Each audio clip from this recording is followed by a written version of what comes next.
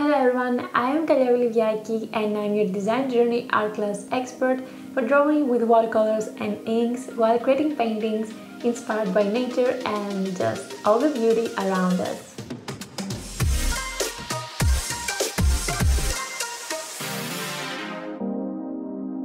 Going straight to our fifth session, we're going to move forward and leave behind blank inks and pigment liners and add even more color and texture to our paintings.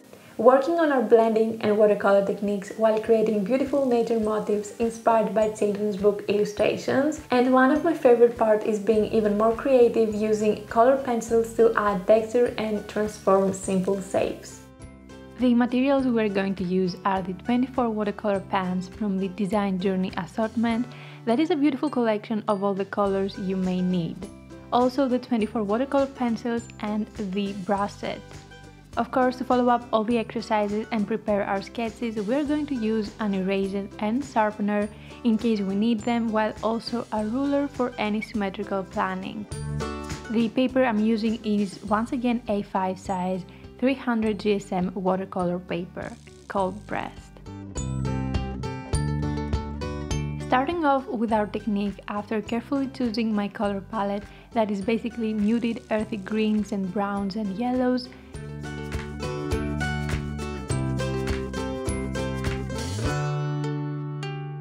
You can see here I will make random shapes and fill them in with the watercolors.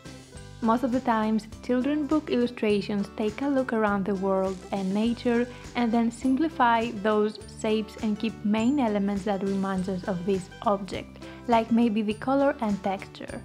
I will use the Staedtler watercolor pencils to outline my shapes because that way the line work can also blend into the paint. While regular pencil will just be there or even smudge and create an unwanted gray tone.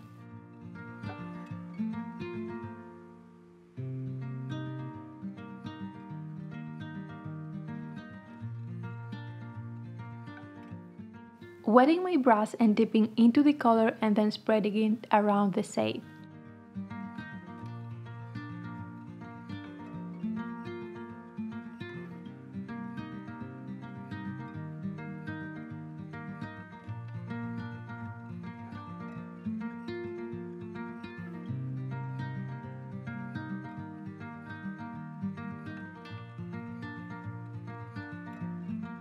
You can create simple flat layering or you can start doing different watercolor textures by adding more paint or water and changing the ratio of these two.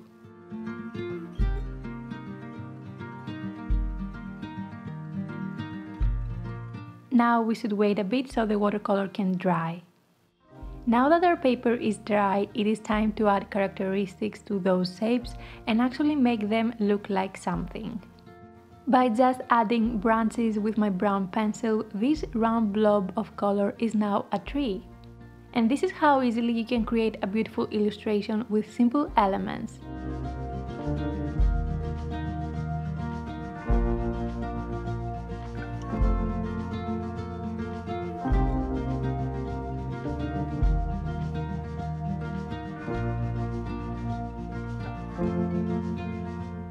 There are so many texture ideas you can add to your shapes like lines or dots or more abstract shapes or anything else you would like that can transform and give the final touches to your watercolors.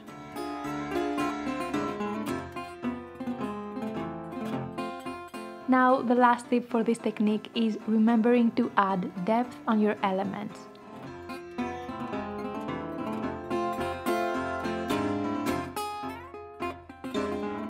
Make it visible enough for what it is in the front and what is in the back. This will give beautiful dimension that is needed to make an illustration even better. And you can achieve that by making the part of the element that is on the back and close to the front darker. Like there is a shadow that the frontal object is casting on the one that is on the back. Of course, the shadow will be on the place where these two are close to each other.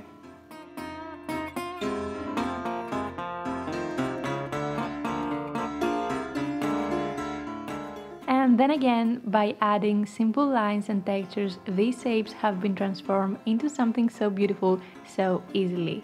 I have to say, this is one of my favorite techniques, always so much fun to use.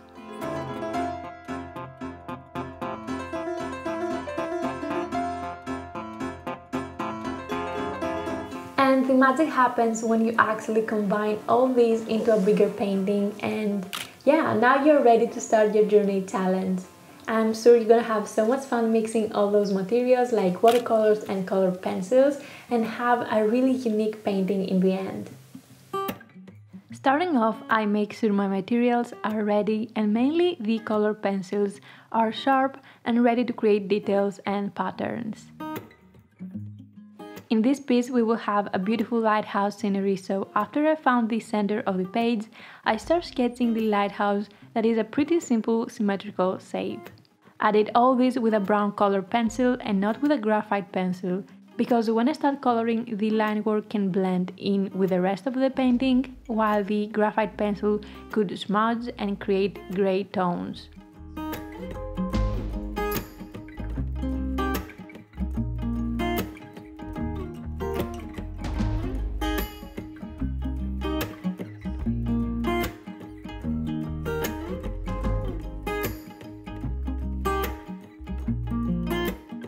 You can always pause the video to keep up with me and copy the sketch you're seeing.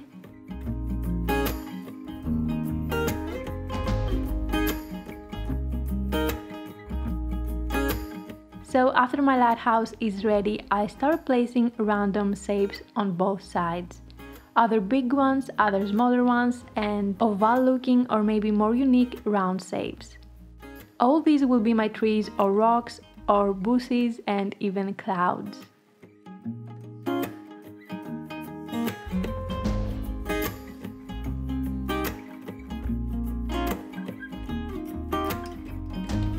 Next step is to fill in all these shapes with your desired colors. I once again went with earthy tones, oranges, yellows, browns and greens.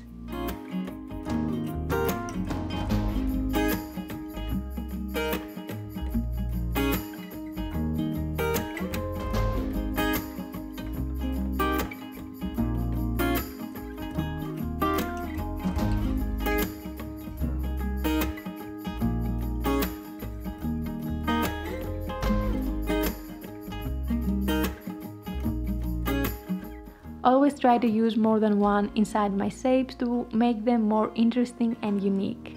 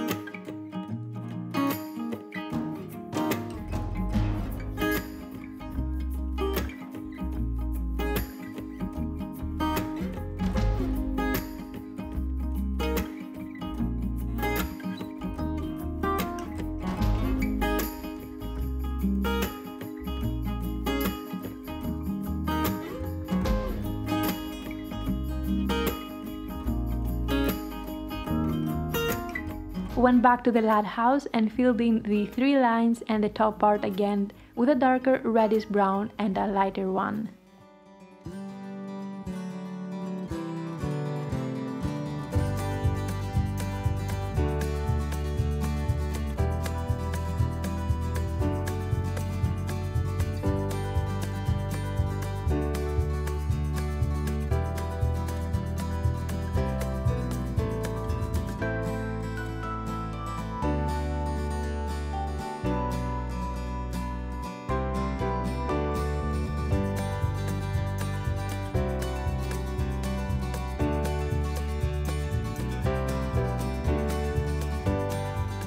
Now that our base colors are dry, we can grab the color pencils and start having fun by adding lines and patterns inside our shapes and giving them identity.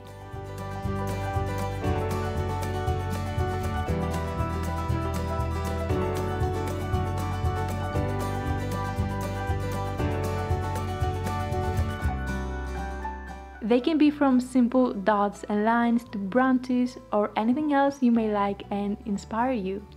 Truly, this illustration process is so much fun and the final painting is always unique and beautiful.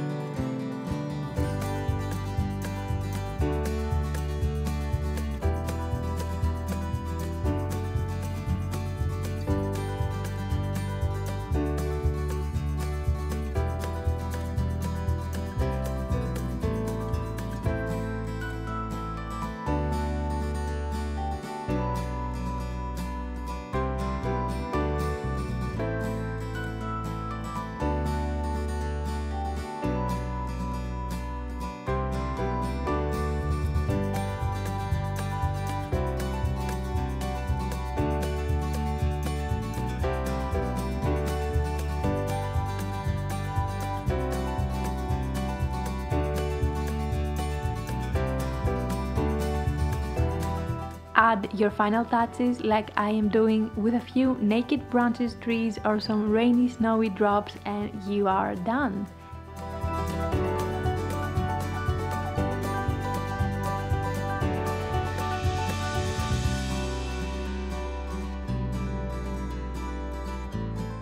Your beautiful illustration inspired by the simplicity of children's book is so beautiful and ready for you to hang on your wall or give to a friend.